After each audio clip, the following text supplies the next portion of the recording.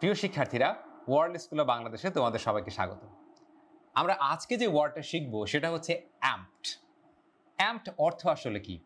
Amped অর্থ বোঝার জন্য আগে আমরা অ্যাম্পলিফাই এই শব্দটার অর্থ শিখে নিই। অ্যাম্পলিফাই অর্থ হচ্ছে কোনো কিছুকে বাড়ানো সাউন্ড বাড়ানো। এটাকে আমি কি বলতে পারি? সাউন্ড অ্যাম্পলিফাই করা। তাহলে অ্যাম্পলিফাই অর্থ হচ্ছে কোনো কিছু বাড়ানো। এখন এই অ্যাম্পলিফাই থেকেই সংক্ষিপ্তভাবে অ্যাম্পড ব্যবহার করা হয়। এই অ্যাম্পটা হচ্ছে একটা খুব পপুলার আমেরিকান স্ল্যাং এই শব্দটা আমেরিকান ইংলিশে প্রচুর ব্যবহার করা হয়। আমেরিকান ইংলিশে অ্যাম্প অর্থ হচ্ছে কোনো কিছুতে ভীষণ আগ্রহী থাকা। আমরা যদি কোনো কিছু নিয়ে ভীষণ এক্সাইটেড থাকি, আমরা কি বলতে পারি? আমি এটা নিয়ে ভীষণ অ্যাম্পড হয়ে আছি। যেমন ধরো তাহসান আমার অনেক প্রিয় একজন শিল্পী।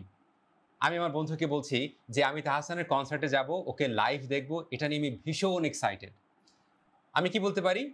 I can't wait to see Tahsan live I can't wait to see Tahsan live এই জায়গায় ক্যান্ট ওয়েট টু সি এর অর্থ হচ্ছে, আমার সহ্য হচ্ছে না। আমি পারলে এক্ষুনি চলে যেতাম। অর্থাৎ তাহসানের লাইভ কনসার্ট দেখার জন্য আমি একেবারে অধীর আগ্রহে অপেক্ষা করছি।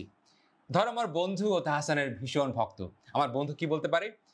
Me too I am amped me too মানে আমিও আই এম অ্যাম্পড মানে আমি ভীষণ এক্সাইটেড হয়ে অপেক্ষা করছি তাহসানের কনসার্টে যাওয়ার জন্য। এই ক্ষেত্রে অ্যাম্পড অর্থ হচ্ছে কোনো একটা কিছু করার জন্য ভীষণ এক্সাইটেড হয়ে থাকা। আমেরিকান ইংলিশে যে ক্ষেত্রে অ্যাম্প ব্যবহার করা হয় এ এএমপি অ্যাম্প, ঠিক ওই জায়গাটাতে পাম্প এই শব্দটা ব্যবহার করা যায়।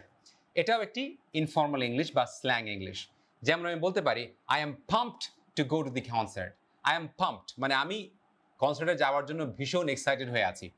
যেই জায়গায় আমি বলছি অ্যাম্পড, ঠিক একই জায়গায় আমি কি বলতে পারি? পাম্পড। এই অ্যাম্প এবং পাম্প এই শব্দ দুটি তোমরা আমেরিকান ফিল্ম অর্থাৎ হলিউডের সিনেমায় প্রচুর ব্যবহার করতে দেখবে। প্রিয় শিক্ষার্থীরা, আশা করব এর পরবর্তীতে যখন ইংলিশ সিনেমায় অ্যাম্প অথবা পাম্প এই দুটি শব্দ ব্যবহার করতে দেখবে, অথবা যারা নেটিভ স্পিকার তাদের ইংরেজি শুনবে এবং সেখানে যদি অ্যাম্প এবং পাম্প এই শব্দ দুটি শোনো, তাহলে তোমাদের বুঝতে কোনো কষ্ট হবে না।